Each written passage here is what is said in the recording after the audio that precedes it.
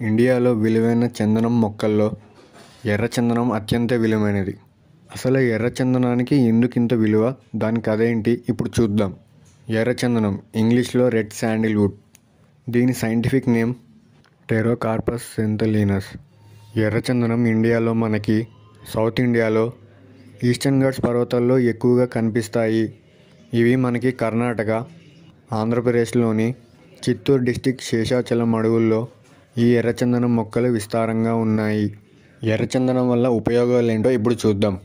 ఎర్రచందనాన్ని మెడిసిన్స్లో ఎక్కువగా యూజ్ చేస్తూ ఉంటారు. ఇది డైజెషన్ దగ్గు బ్లడ్ ప్యూరిఫై వంటి ప్రాబ్లమ్స్ని తగ్గించడానికి ఎర్రచందనాన్ని మెడిసిన్గా యూజ్ చేస్తారు. ఎర్రచందనాన్ని కాస్ట్లీ ఆల్కహాల్ బివరేజెస్ అంటే విలువైన మద్యం పదార్థాలను తయారు చేయడానికి ఉపయోగిస్తారు. ఎర్రచందనం కాస్మెటిక్ ప్రపంచంలో అత్యంత విలువైనది. దీంతో చాలా విలువైన కాస్మెటిక్స్ని తయారు చేస్తారు. అంతేకాకుండా ఎర్రచందనం వేలుతో చాలా విలువైన ఆయిల్స్ని తయారు చేస్తారు. ప్రస్తుత మార్కెట్ ప్రకారం ఒక కేజీ ఎర్రచందనం దుంగ రెండు వేల ఐదు వందల వరకు ధర పలుకుతుంది.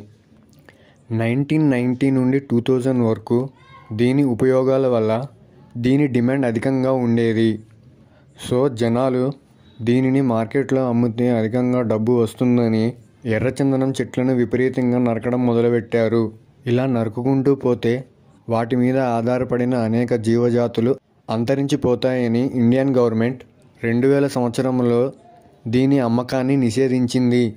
ఇండియన్ గవర్నమెంట్ రెండు వేల రెండు వరకు ఈ చెట్లను పెంచడం అనేది కూడా నిషేధించింది.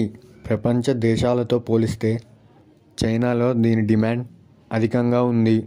అందుకే స్మగ్లర్లు వాళ్ళ ప్రాణాలకు తెగించి ఈ ఎర్రచందనం చెట్లను నరికి ఇతర దేశాలకు అక్రమంగా ఎక్స్పోర్ట్ చేస్తారు. ఇంటర్నేషనల్ మార్కెట్లో ఎర్రచందనం విలువ అధికంగా ఉంటుంది. సో ఇక్కడ మీరు అడగచ్చు ఇన్ని ఉపయోగాలున్న ఎర్రచందనాన్ని బ్యాన్ చేయడం ఎందుకు? దీని బ్యాన్ తీసేసి గవర్నమెంట్ దీన్ని పంట కింద వేసుకునే అవకాశం ఇస్తే ఇటు రైతులకి అటు గవర్నమెంట్కి బాగా డబ్బు వస్తుంది కదా. మరి ఎందుకని బ్యాన్ చేశారు? ఎర్రచందనం పంట అంత ఈజీ కాదు. ఎర్రచందనం పంట చేతికి రావాలంటే దాదాపు పదిహేను నుండి ముప్పై సంవత్సరాలు పడుతుంది.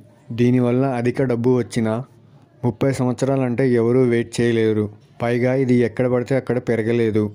ఇది ఎక్కువగా అడవుల్లో మంచి సారవంతమైన నేలలో పెరుగుతుంది. ఈ చెట్లకు నీళ్ళు కూడా ఎక్కువ కావాలి.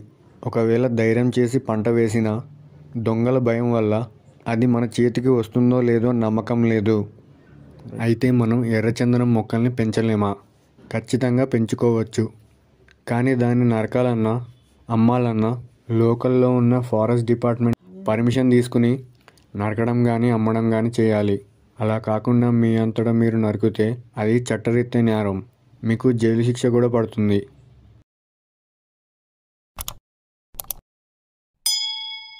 ఫ్రెండ్స్ నా ఎక్స్ప్లెనేషన్ నచ్చినట్టయితే please subscribe to my channel పెరిగే వేగమే తగిలే మేఘమే అసలే ఆగదు ఈ పరుగే. ఒక్కటే గమ్యమే దారులు వేరులే పయనమే నీ పనిలే.